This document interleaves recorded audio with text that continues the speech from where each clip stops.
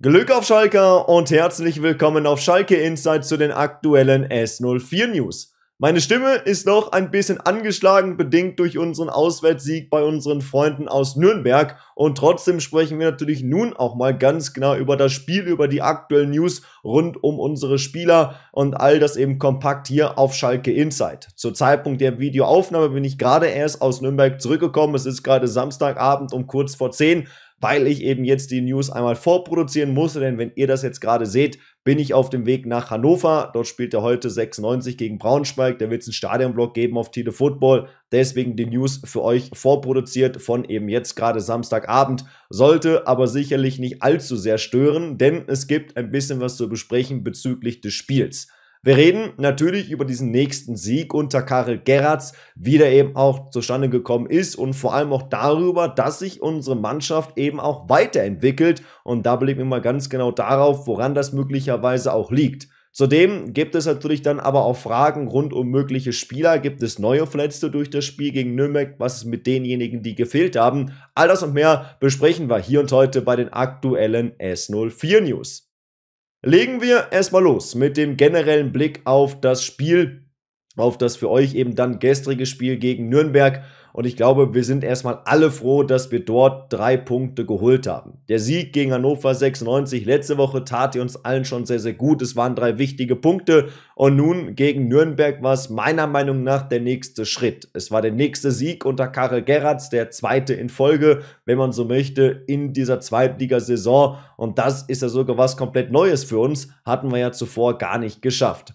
Und es war natürlich auch ein Sieg, wo man eben auch gesehen hat, dass diese Mannschaft unbedingt gewinnen will. Weil ich hatte zumindest mal während der Anfangsphase ein wirklich gutes Gefühl und auch am Ende habe ich auf jeden Fall den Glauben daran gehabt, dass das diese Mannschaft schaffen kann. Und Karel Geratz hatte auch deswegen nach dem Spiel ordentlich Lob im Gepäck. Für uns war es ein sehr wichtiger Sieg, unser erster dreifacher Punktgewinn auswärts. Das war vor dem Anpfiff auch das erklärte Ziel. Wir sind gut gestartet, haben gerade in den ersten Viertelstunde guten Fußball gespielt. In den zweiten 15 Minuten des ersten Durchgangs ist Nürnberg etwas stärker geworden. Dann sind wir in einer erneut starken Phase von uns in Führung gegangen. Das Tor war schön herausgespielt. Es ist wichtig, mit dem Ball Lösungen zu finden. Das ist uns zuletzt nicht immer gelungen. Nach dem Seitenwechsel haben wir zunächst nicht gut reingefunden. Nürnberg ist besser aus der Halbzeit gekommen und hat auch schnell ausgeglichen. Mir war wichtig, dass mein Team nach dem 1:1 die Köpfe nicht hängen lässt. Die Mannschaft hat sich in die Partie zurückgebissen. Wir haben gerade in der Schlussphase gezeigt, dass wir dieses Spiel unbedingt gewinnen wollen. Deshalb bin ich froh und zugleich stolz, dass die Jungs sich mit dem späten Treffer belohnt haben. Die Atmosphäre im Stadion war großartig. Eine Stimmung, die ich so schnell sicherlich nicht vergessen werde. Ich wünsche dem 1. FC Nürnberg alles Gute für den weiteren Saisonverlauf. Und ich glaube, dort können wir uns als Fans auf jeden Fall auch allesamt anschließen mit diesen Wünschen an Nürnberg. Denn auch diejenigen von euch, die gestern mit dabei waren in Nürnberg, das war schon wirklich was ganz Spezielles, eine sehr krasse Atmosphäre vor dem Anpfiff, diese riesen Choreografie. Ich stand ja auch mit darunter. Das war schon wirklich der Wahnsinn. Und am Ende haben wir eben dann drei Punkte geholt. Einer, der natürlich auch den Club sehr gut kennt, ist Lino Tempelmann und der war auch sehr zufrieden nach Abpfiff. Für mich war es ein ganz besonderes Spiel, da ich auf viele bekannte Gesichter getroffen bin. Hinzu kommt die gesamte Atmosphäre rund um das Duell zwischen Schalke und dem FCN. Als ich die Choreografie vor dem Anpfiff gesehen habe, habe ich direkt eine Gänsehaut bekommen. Diese Freundschaft mit ihren ganzen Aktionen ist wirklich einmalig. Das Spiel selbst hat ebenfalls viel Spaß gemacht. Beide Mannschaften wollten unbedingt gewinnen. Gerade in der ersten Halbzeit hatten wir gute Chancen, hätten das Spiel schon in die richtige Richtung lenken können. Der schnelle Ausgleich nach der Pause hat uns zunächst ein bisschen zugesetzt. Da haben wir einige Minuten benötigt. Ich bin froh, dass wir die Partie letztendlich dann für uns entschieden haben. Wir haben eine große Bereitschaft gezeigt, über weite Strecken gut verteidigt und wenig zugelassen und dann kurz vor Schluss im entscheidenden Moment getroffen. Es tut extrem gut, nach dem Heimsieg gegen Hannover nun auch auswärts dreifach gepunktet zu haben. Jetzt gilt es, gegen Elversberg weiterzumachen. Der Trainer macht einen guten Job, gibt uns einen guten Plan an die Hand. Wir wollen Woche für Woche Schritte nach vorne machen, auch spielerisch noch etwas draufpacken. Und da wollen wir Fans auch sicherlich nochmal ein Ticken mehr sehen, eben auch in dieser spielerischen Entwicklung. Aber grundsätzlich war es sicherlich auch neben diesen drei Punkten, die natürlich wichtig waren, auch generell ein Schritt nach vorne. Und genau darüber möchte ich hier auch nochmal reden. Und ich finde schon, das kann man nur nach den ersten Spielen der Karel Gerrard sagen, die Mannschaft entwickelt sich weiter. Natürlich sind wir noch lange nicht an einem Punkt angelangt, wo vieles perfekt läuft. Da muss sich noch unglaublich viel entwickeln und es müssen sich auch viele Spieler noch extrem steigern. Aber man erkennt meiner Meinung nach schon, dass sich diese Mannschaft von Spiel zu Spiel steigert. Ich finde, das Pokalspiel gegen St. Pauli muss man da ein bisschen ausklammern, weil das eben schon eine gewisse Herangehensweise war, dort relativ defensiv zu agieren. Jetzt gegen Nürnberg hatte ich auf jeden Fall das Gefühl, dass unsere Mannschaft auch im Spiel mit dem Ball deutlich ja besser funktioniert hat, sich deutlich besser präsentiert hat und auch in Summe einfach als Gesamtbild deutlich besser funktioniert hat. Einer, der damit auch sehr zufrieden war, war André Hechelmann. Er war ja in seiner Jugend auch mal Nürnberg-Fan und nach dem Auswärtssieg hat er dann erstmal durchatmen müssen. Ich habe erst einmal durchgeatmet. Dann bin ich raus und habe mich mit den Jungs gefreut, dass sie feiern dürfen. Denn Hechelmann ist nach dem Abpfiff erstmal in die Kabine gegangen, hat dort ein bisschen ja, die Ruhe für sich mal genommen um dann eben auch zumindest mal die ersten Gedankengänge zu haben, wie man dieses Spiel analysieren kann. Und dieses Spiel war eben auch ein Match, wo wir gegen einen wirklich guten Gegner ein über weite Strecken zumindest mal gutes Auswärtsspiel gemacht haben. Klar, auch Nürnberg hat sicherlich nicht den besten Tag erwischt gehabt, doch das muss man, finde ich, dazu sagen. Wir hatten aber eine wirklich gute Anfangsphase im Spiel mit dem Banner, verschiedene kreative Lösungen gefunden und hätten sicherlich auch schon dort in Führung gehen können. Dann diese Führung nach etwas mehr als einer halben Stunde hat sich zwar in dieser Phase nicht zwingend angedeutet, war aber eben auch trotzdem insgesamt zumindest mal verdient. Und das war natürlich dann auch ja, wirklich etwas, was wichtig war für diese gesamte Mannschaft. Und es war aber trotzdem so, dass wir zwar spielerisch immer mehr gezeigt haben, aber natürlich auch dann das 2-0 hätte fallen müssen. Das hat auch Lino Tempelmann nochmal ganz klar auf den Punkt gebracht. Wir hatten in der ersten Halbzeit die eine oder andere Chance, das 2 zu 0 zu machen, haben es aber nicht geschafft. Der Ausgleich hat uns zugesetzt. Und da wiederum sind wir eben auch dann wieder bei einer gewissen Problematik dieser Mannschaft, wo man eben dann auch wirklich ansetzen muss. Denn Nürnberg war eben auch dann durch das 1 zu 1 besser reinkommen in die zweite Halbzeit Unsere Mannschaft wiederum hat sich zwar dagegen gewehrt, aber man hat schon gemerkt, dass es auf jeden Fall ein bisschen gedrückt hat nach diesem Ausgleichstreffer und trotzdem haben wir vor allem auch in der Abwehrarbeit sicherlich gute Dinge gesehen. André Rechelmann hat ja auch nochmal gesagt, man hat wirklich wenig zugelassen in der Defensive, die Abläufe werden immer flüssiger. Und ich finde, dass man das auch durchaus merkt. Und Karel Gerrards lobt eben dann vor allem auch nochmal die Schlussphase.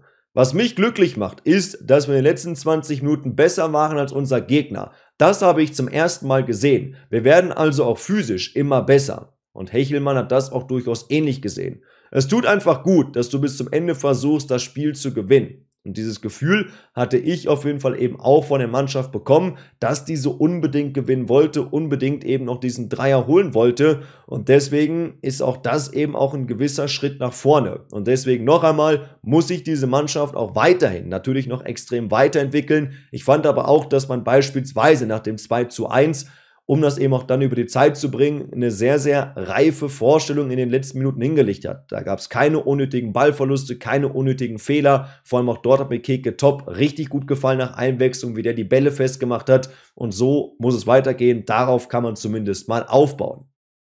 Einer, der natürlich gestern sicherlich dann auch der Matchwinner schlechthin war, war natürlich Danny Latzer. Unser Kapitän vergangener Zeiten, unser Aufstiegskapitän, hat es natürlich in den vergangenen Jahren eigentlich seit seiner Rückkehr zu Schalke nicht einfach gehabt. Verletzungsbedingt, formbedingt, auch jetzt weiß sicherlich jeder, er wird sportlich nicht mal die größte Rolle spielen.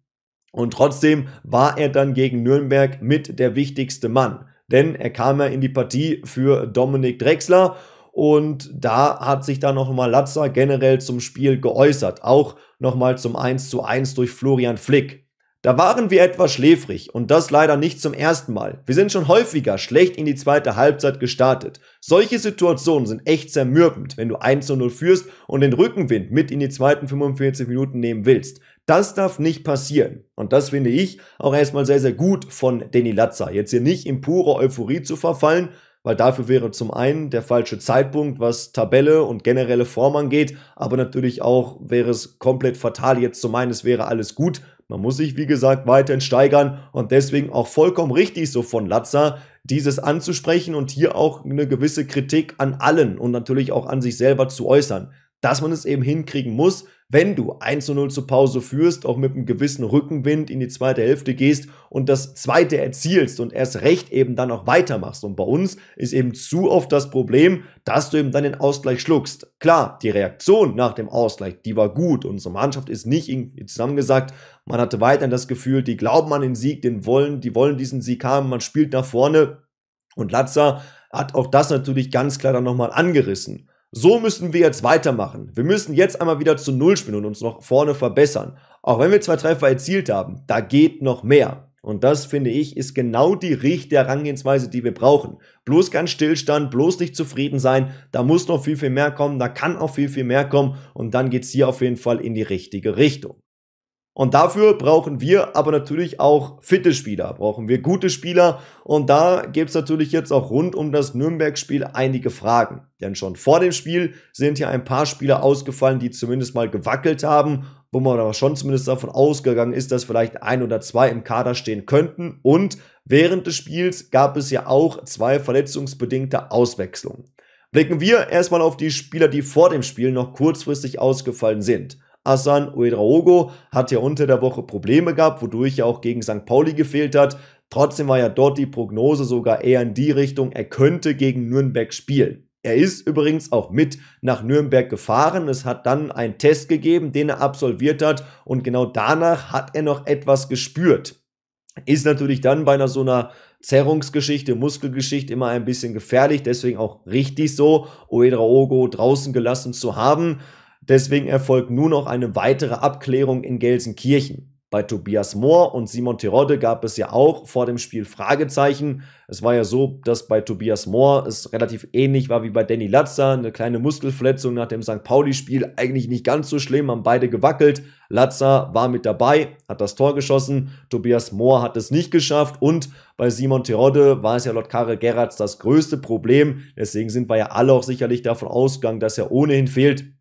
Und deswegen waren Moore und Terodde auf jeden Fall angeschlagen. Das klingt aber erstmal so, dass sie vielleicht auch nächste Woche direkt auch wieder mit dabei sind. Paul Seguin, der hatte ja Magen-Darm, hat deswegen die vergangenen zwei Spiele verpasst vor dem Nürnberg-Match und er hatte noch Trainingsrückstand. Klar, wenn du eben auch eine Woche komplett raus bist, nicht mittrainierst, ist das durchaus logisch. Und somit hat auch Paul Seguin gefehlt. Während des Spiels mussten ja dann noch Dominik Drexler und Kenan Karaman verletzungsbedingt ausgewechselt werden. Bei Drexler hat man das ja gar nicht mal so direkt gesehen, also zumindest hatte ich jetzt nicht das Gefühl, dass es bei Drexler irgendwas Schlimmes war. Vielleicht auch da eher nur eine Vorsichtsmaßnahme. Und bei Kenan Karaman gibt es auch noch keine genauen News, ob das vielleicht irgendwas Schlimmeres ist, wodurch jetzt vielleicht ein paar Tage ausfällt. Auch dort ist sicherlich die Hoffnung groß, dass es einfach nur eine Kleinigkeit war, wodurch er ausgewechselt werden musste. Ganz interessant fand ich aber auf jeden Fall auch dann Keke Top für Kenan Karaman. Ich hätte gedacht, dass Sebastian Polter reinkommt, aber nein, er hat Keke Top reingeschmissen und für mich hat das auch wirklich sehr gut funktioniert. Wird man auf jeden Fall wünschen, dass auch dort Karel Gerrards weiterhin mutig bleibt und auch erst recht, wenn andere Spieler ausfallen, jungen Spielern eine Chance gibt auch ein Kabadahi hat mir zumindest mal in Sachen Engagement ganz gut gefallen. Und genau darauf kann man jetzt eben auch natürlich gut aufbauen. Und somit waren das mal die aktuellen S04 News rund um unser Auswärtsspiel beim ersten FC Nürnberg. Schreibt eure Meinung dazu mal gerne in die Kommentare. Checkt auch gerne meinen Stadion-Vlog ab auf Tide Football von dem gestrigen Spiel. Und dann sehen wir uns hier im nächsten Video wieder. Macht es gut, ciao. Und Glück auf an alle Schalker.